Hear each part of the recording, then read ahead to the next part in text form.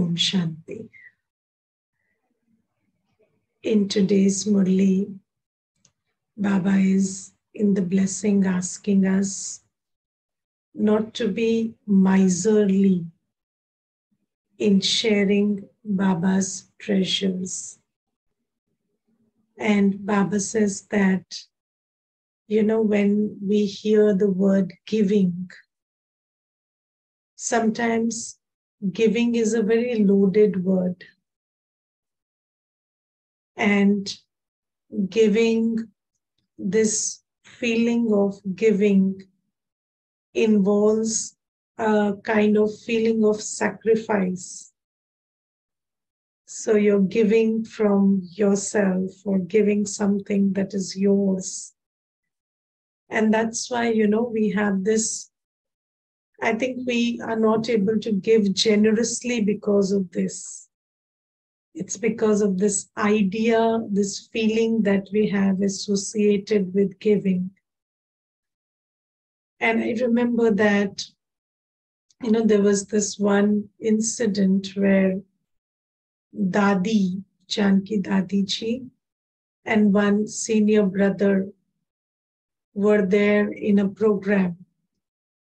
And in that program, Toli had to be given to everybody who had attended that program. And it was a huge gathering of souls who had come for the first time. And there were thousands in number. And then Dadi and that brother both sat to give Toli. And then Dadi was, you know, Dadi was being Dadi, and Dadi was loveful in her giving of Toli. And then that senior brother was watching, and he was also giving Toli. But then after some time, he asked Dadi, Dadi, don't you feel tired? Don't your hands ache?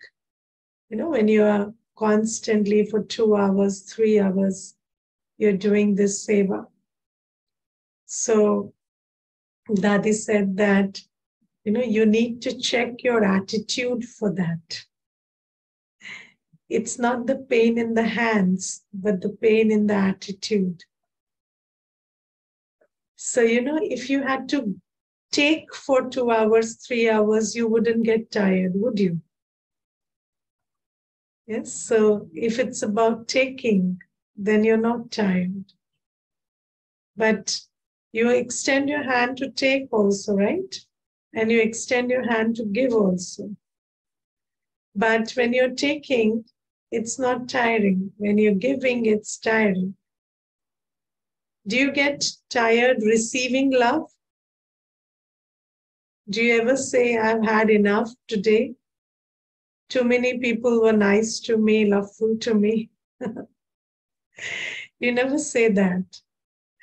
But being loveful to others is quite a task sometimes because it is our attitude associated with giving that makes us heavy. And today, Baba says that Baba gives a very interesting uh, piece of knowledge. Baba says that when you're taking from someone and giving, that's not technically giving. So Baba says, You're taking from me and giving all the time. So that, that doesn't even count as giving. and I always love this word sharing. But you know, even sharing is a body conscious word because again you're, you're sharing what is yours. But I don't know whether there is a proper word which can really define this act where you're taking from Baba and giving. And Baba says, when you do that, Baba gives a very nice word to describe this. It is business. And how do you do business? You bring from somewhere, you give it to someone, and you earn in the process. Yes, so when a businessman is bringing from somewhere and giving somewhere, what is he aware about? He's aware about the income he's earning in the process. So Baba says, I am the ocean of love, peace, happiness. I am the ocean of cooperation, support, power. I am the ocean of everything. And when you are taking from me and giving to others, then what you should hold in your awareness at that time is that I'm earning in this process. I'm getting benefit. I'm earning spiritual currency in the process. I'm earning punya in the process. And you know that when you have this attitude, then this business, so when you are aware not of the effort, but of the income. So have you seen businessmen can go to any if any length to make effort? Yes. Why? Because they are not focused on the effort. They are focused on the income vis-a-vis the effort. So they say, itna sahi to karna and then so much we will earn. So you know, we have to just do this much and then the earning is huge. That is what keeps them going. So I will also share one thing, something that a brother who is into business shared with me. And he told me that uh, so when I uh, I was telling him that Baba says that you should always feel like you're in front of the mirror or you're on the stage, and then you should keep checking, you know, your um, spiritual face, and then whether it is loveful or peaceful or the love and peace has gone off. So you should keep doing that. So he said, you know, I keep doing that physically. So whenever I'm going to work, I keep looking in the mirror and I keep checking whether there are any lines of, you know, tiredness or any lines of, um, uh, you know, stress or my face is not happy or I'm not looking enthusiastic. So I keep doing that. So then I said, okay. So he said, that's a practice with me. So I said, is that a practice? So he said, yes. So I said, do you do that while you are back from business also? So while you're going, while you're driving to that place where there's going to be a business deal, sure, you're doing that. You're checking your expressions, you're checking your smile, you're checking how you're looking, or whether you are sounding enthusiastic or dull or dry. All that you're doing, fine. But then when you're coming back, are you doing the same thing? When you're going back to your family, are you doing the same thing? Or when you're going back to your room in your personal space, you know, even away from the family, are you doing that? So I said, no. so I said, that's why, you see, you're doing that for money. So when you are focused on the earning, then you're checking your face also because you need to look interested and enthusiastic and available for that business to happen, the deal to go good. But then when you're coming back, you are not, so it's not a spiritual act that you're doing. It's a very businessman kind of a thing. so don't tell me that you are an awareness. You are not an awareness of your state, you are an awareness of the business. So that's very body conscious. And then he understood the difference between, you know, being spiritually aware and checking your state of peace and happiness because of the awareness of your business. And then Baba says, make spirituality your business. so you should always be interested in your state of peace, happiness, and love and purity. And you should always understand that I should be in yoga with Baba and take what Baba is giving and share it with others. And in doing that, in being happy, in being peaceful, in taking it from Baba and incorporating it in every word, every act, I am earning. I'm earning a spiritual income. So that's the kind of awareness I have to build. And then Baba says, I am the ocean of treasures. So when you take from me and give, that's not even karma, that's an open account. because it doesn't require any effort. You benefit in that, the other benefits in that. There is so much of good wishes, good feelings, so much of blessings involved in that whole act that you don't even call it a karmic account because there is no burden whatsoever. You do it in a very light state. And then Baba today, what Baba is saying about taking and giving. So, you know, usually when we come to Gyan and we understand that you have to be a giver, what we start doing is we start giving without taking. So there was this one sister, and she once shared that, you know, Didi, when I begin the day, I am very generous hearted and I only give, give, and give. And I'm always smiling, always loveful, helpful, cooperative, tolerant, you know, um, supportive, in every act. When I'm at home, to my children, to the family, when I go to office, to my colleagues, on the way, everyone I meet. But you know what? They, they, they don't reciprocate. So you're giving, and then you're giving, giving, giving, and then there is no reciprocation.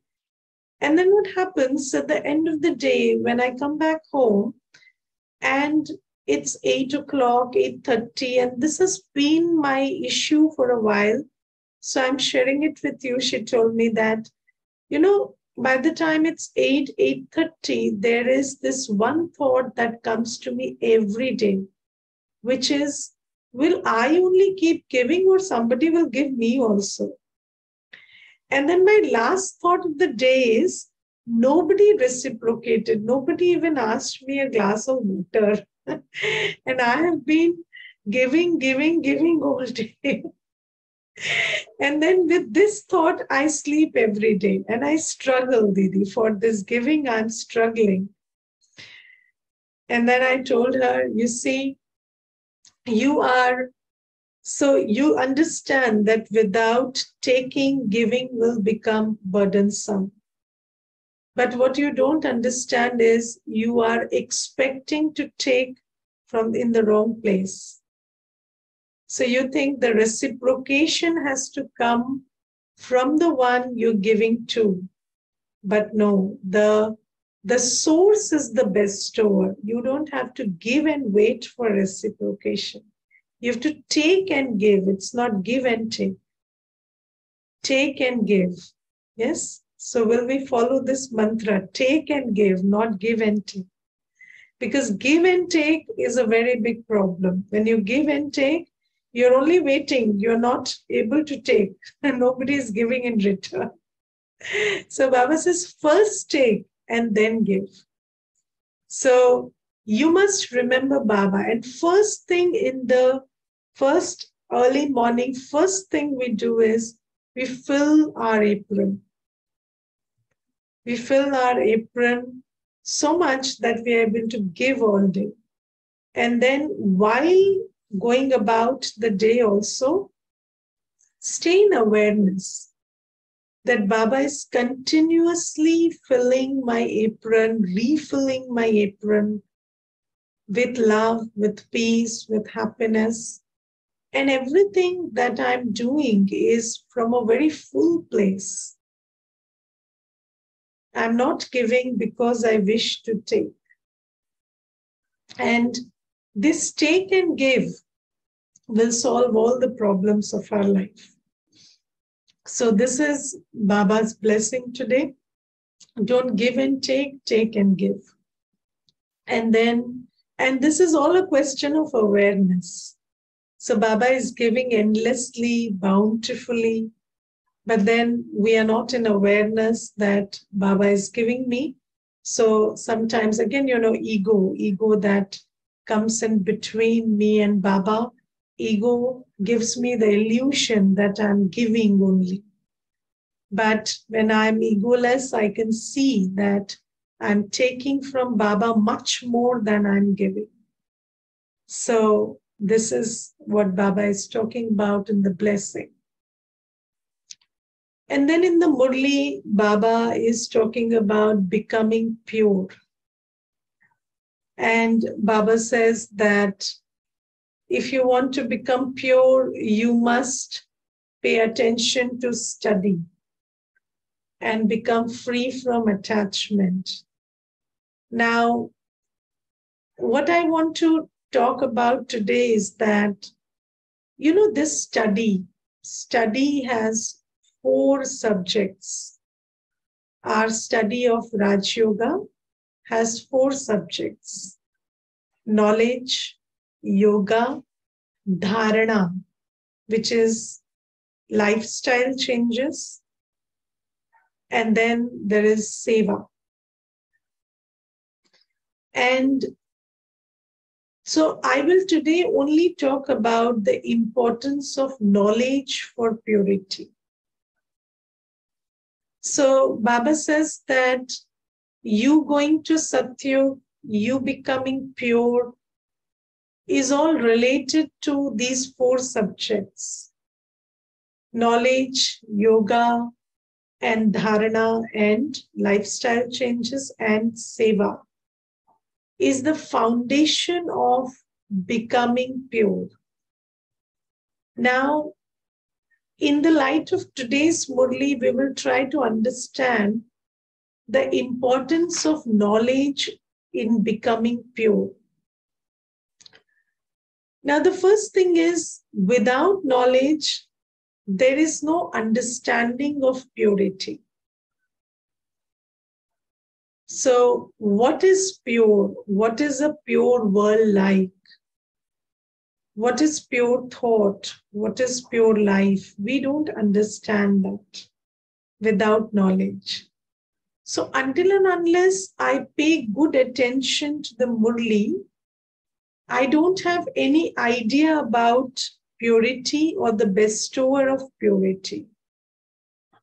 Now you see that Baba is today in the Murli saying that people think that God is the one who is moving the leaves. Patta patta Bhagwan ki mercy se hilta hai. And Baba says, it is not me, it is the breeze doing that. and Baba says that I'm giving you my introduction that I am the purifier. Yes, so you don't have to.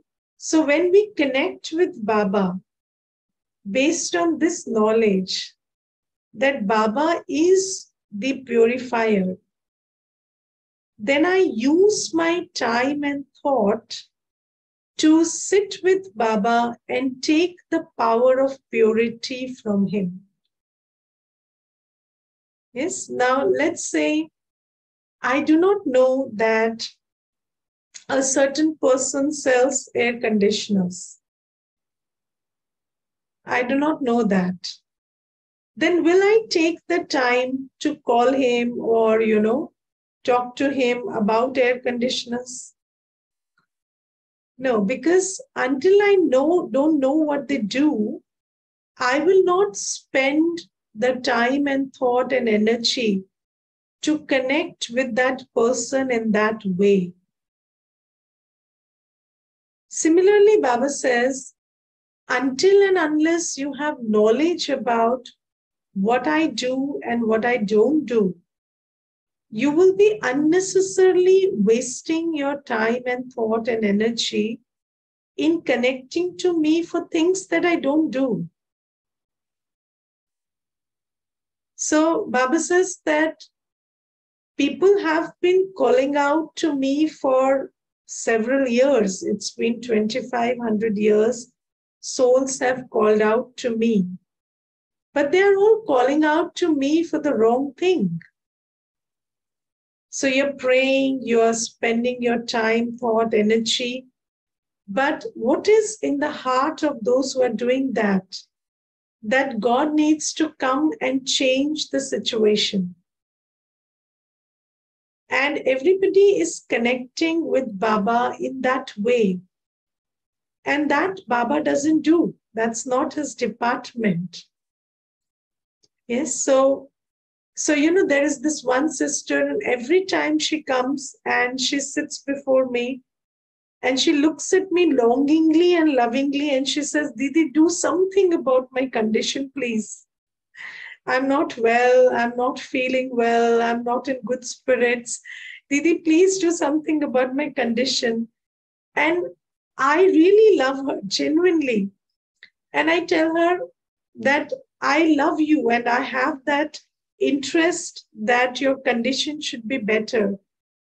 But I'm sorry, I can't do anything about it. You have to do something about it. You have to come to class. And she doesn't come to class. She doesn't come to class at all. And every time, once in a month, she would come and she would cry and she would plead and beg. And and I feel so you know I, I i understand that feeling of helplessness that you know you cannot do what you cannot do. That's not your department. I do not have the power to move her from a place of sorrow to happiness. Only she has the power to do that if she understands baba and if she connects with baba and if she uh, takes on what baba is saying. If she starts following Shrimat. So Baba says, I also cannot help you if you do not follow Shrimat. And I do not change the situation. I am the creator, liberator, guide, director. But you have to understand what I do. So I create heaven. I give knowledge for that. I teach you yoga for that. I give you the knowledge of the beginning, middle, and end. I tell you what the golden age was like and what are the possibilities of the soul. I give you the knowledge that you can come to the soul world, sit before me. And if you hold in your awareness that I am the purifier and I, you are being purified, you will be purified by me. And Baba says the time to do that is Amrit Vela. So, first thing is the knowledge about Baba as the purifier, Baba is the liberator, Baba is the bestower of happiness. But then that has to be understood. People say that God gives happiness, but what do they mean by happiness? So they mean by happiness is that, you know, they you have money and you have uh, whatever you do turns into gold. So that is not happiness. Yes, Baba says, if there is untimely death in the world, then even if you are the richest person on earth, you cannot live your life fearlessly. And that's not happiness. Yes, people who have seen deaths during COVID, you know, the death of a family member, a loved one, they have not recovered from that trauma.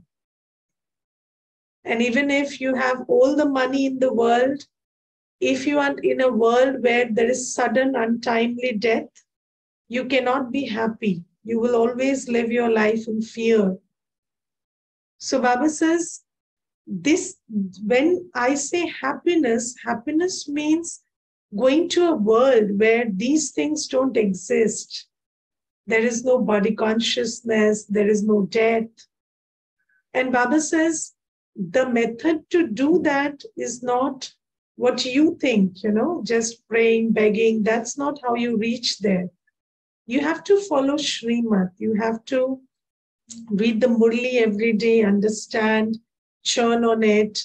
You have to wake up at Amrit Vela, take power from Baba, take purity from Baba, take peace from Baba. You have to do away with your bad habits. Your lifestyle has to change according to Shrimat. Impure food, impure lifestyle, the, the ways in which lust, anger, ego, attachment, greed has penetrated into our lifestyle has to change. So, you know, there is a lust, anger, ego, attachment, greed have a way of finding themselves into our life. So they have made a way into our life through belief systems, through uh, you know cultures, through day-to-day living. So Baba says you have to change all of that, the way you see, the way you eat, the way you engage in relationships. All that, all that has to shift. And then there is seva because wherever our money goes, our heart goes there. So if you're not doing any seva, even if it is only financial, there is very little scope that your heart will be with Baba. So Baba says that these things you have to understand, and for that, you need the Murli. And knowledge is the first step to becoming pure, becoming the master of heaven. And in today's Murli, Baba says many beautiful revelations about the soul, the soul world, about Baba. And I would discuss some of that so that we understand that, you know, Baba is opening our window to that world which we don't understand at all. And until and unless it comes into our awareness, how can it come into our action? So, you know, you have to understand something in order to become an embodiment of it. So, if we don't understand what Satyug is like, if I don't understand the truth about the soul and the body, how can I become soul conscious? How can I become Satyugi? If I don't understand who really Baba is, how can I connect in yoga with Baba? So today, Baba in the Murli says that, you know, the soul is separate from the body. And when you sleep, that's one um, that's one activity, a very mundane activity in which you can understand that it is possible for the soul to separate from the body. And today, Baba says that when a soul is separate from the body, he is not able to say anything. At night, it is as though each soul separates from his body. The soul says, I've been working through this body and I'm now tired, so I'm going to rest the soul and body are two distinct things. And you see that when you sleep, what do you do? You just say, Enough is enough, now I'm sleeping. Yes? there is, and you see, there is, even after you go to bed, there is a certain time frame until which your thoughts don't settle down. Yes? And then you make a decision sleep is always a decision. So when you look at the clock and it is 10, 10, 15, 10, 30, and according to your morality, yes. So if you think 10 is late enough, then at 10 you make that decision. If you think 10:30 is late enough, you make that decision at 10:30. If you think 3 a.m. is late enough, then you make that decision to sleep at 3 a.m. So there was this one brother, and he's a youth, and he came to the center and told me that every day I sleep at 3 and I'm not able to sleep earlier than that. So I said, but how is it that you're regularly able to sleep at 3? Because you have programmed yourself that 3 is late enough. Yes, 3 a.m. is late enough. And then what are you doing until then? You're watching video games, you're doing this, that, and the other. But then inside the programming is that when it's 3 a.m., it is late enough and I have to sleep. And that's when you allow yourself to sleep and you sleep. So Baba says it's always the soul telling itself, now I am tired, now it's enough is enough. You make that decision and you sleep. And when you make that decision, what happens is you disconnect yourself from the body and from the physical world. And then you see in sleep, even if there is a lot of noise outside, or somebody's coming and telling you something, or there is movement outside, you don't care. You are not aware of it. So Baba says that when I tell you to practice being bodiless, it's about that decision that you have to make. So, you know, when you sit and you tell yourself that I'm soul, and for some moments, I would like to excuse myself from this physical world and just be in my peace, in my peaceful world. So, when you just make that decision, then you are able to disconnect yourself from the body and the physical world and be in your peace, be with Baba, who is the ocean of peace. So Baba says the soul and the body are two separate things, two distinct things, and the soul has the power to make the decision whether to be in the awareness of the body or not be in the awareness of the body. And if you really look at this example, then meditation is not something that anybody can say, I can't do. Because if you can sleep, you can also meditate. Yes, it's just that you have been sleeping for a long time, so you're doing it very unconsciously. But now that you understand the process, it's all about making that decision that now I don't care about the body and the old world for some time. I just want to be in my peace and be with Baba and be in the soul world. And so meditation is not something that you have to strive for or make effort for. It is very easy, very natural. So, this is something that Baba tells about today. So you see, knowledge is the key because if we don't have knowledge, we can't do whatever Baba is saying. So Murli, importance of Murli and importance of listening to the Murli with that relevance, you know, with that kind of value in your heart, that Murli has so much value. And with that buddhi, you know, with that attitude, when you listen to the Murli, you will figure out treasures in the Murli. So you will figure out that Baba has given me so many keys and so many insights in the Murli today. And then Baba says that in the in Satyug, Baba mentions three things at least about Satyug today. First thing Baba says is there is no pain in the womb because the karmic settlement has already happened here. So there is no punishment in the womb that the soul receives in Satyug. And Baba says that here each soul experiences punishment in the jail of a womb. There is no jail in the golden age. There is no sin there because there is no Ravan. And this is why a womb there is called a palace. And this is why they show Krishna floating on a peepal leaf.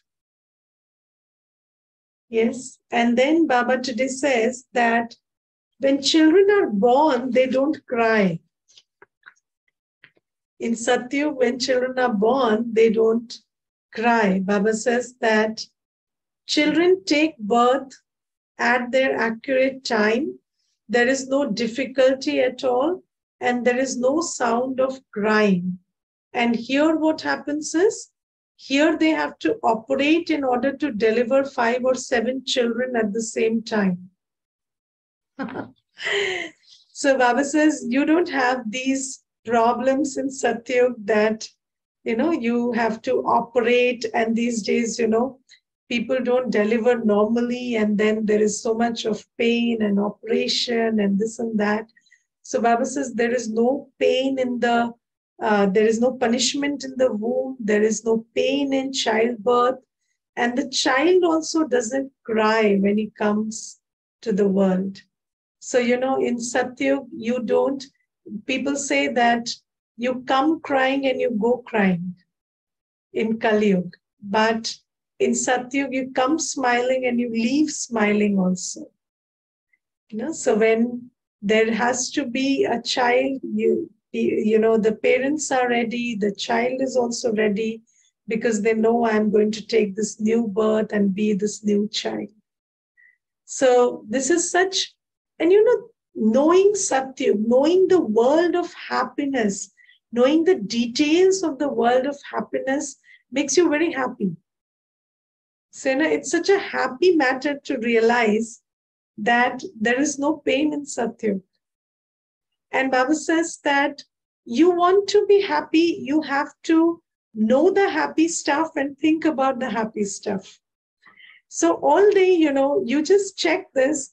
Every time you think about, you know, birth being without crying and with death being without crying in Satyug, it makes you just happy. It makes your heart dance in joy.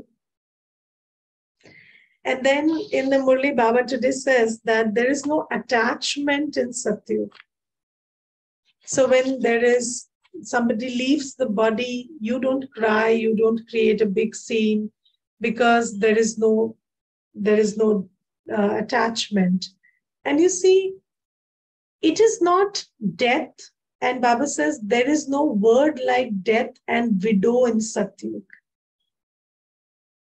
There is no word like death and widow in Satyug because there is no emotion attached to people leaving bodies and taking bodies. So, you know, it's just a process. You understand that, okay, this is leaving the body, this is taking the body. It doesn't mean somebody got widowed and somebody died.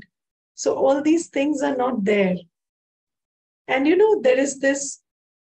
Uh, so, I think that it's not basically uh, leaving the body, which is the problem, but the way we look at that whole process of leaving the body that causes a lot of pain because we have connected it to loss. You think that when somebody dies, it's a loss.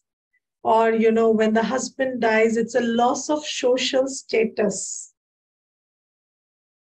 So, you know, it's it's the loss of the person that is also a conditioning and then the loss of social status is a conditioning. So, you know, even if there was a bad marriage, you still feel sorry for the loss because you lost the social status. And, you know, there was this, um, I will tell you this interesting thing. I don't know whether I should or shouldn't, but I'll still say. You know, there was this one lady, and um, her husband was an alcoholic and he used to beat her like anything.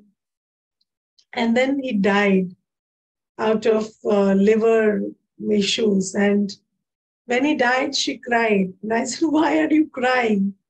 So she said, I became a widow. so I said, I don't know whether I should say that's a good thing or a bad thing so you're better off as a widow than you were as a married person. At least nobody's going to beat you. So she said, But Didi, I'm still a widow. So you see that this whole thing, you know, that when somebody changes the costume, then you are at loss. Or even when somebody who used to beat you every day is no is changing the costume, then you feel that your social status is compromised. All these things are conditionings which don't exist in Satyug. So Baba says when somebody leaves the body, they just leave the body. It doesn't mean they they die and you experience loss or they experience loss so that whole programming of the experience of loss is not there in satyug so if you start thinking about what baba is saying in the murli then you get a sense of the fact that baba is telling you that the way we look at things in Satyug, the way we experience the world in Satyug is very different. And when you get it, you also start thinking like that. And that is the first step to purity. So the first step to purity is knowledge. That is why Baba says, leave the pyre of lust and climb the pyre of knowledge. Gyan chita par Okay, so Om Shanti.